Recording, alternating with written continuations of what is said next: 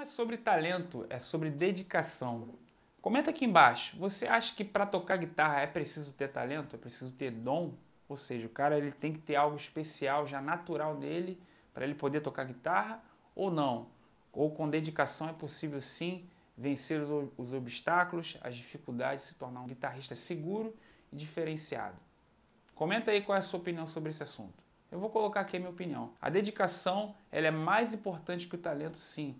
Porque existem muitos guitarristas que são talentosos, que você vê que o cara é diferente, mas por ele não estudar, ele é limitado, mesmo tendo talento, mesmo tendo dom. E existem outros guitarristas que são super talentosos. Eu poderia citar milhares de nomes aí de guitarristas famosos que são talentosos demais, mas que você percebe que o cara se dedicou, que o cara estudou. Ou seja, tem ali horas e horas com o instrumento no colo, estudando. Então, se você tendo dom ou não, tendo talento ou não, quer evoluir, quer ser um guitarrista mais seguro, mais completo, mais criativo, a dica é essa: dedicação. Beleza? Tamo junto e até a próxima.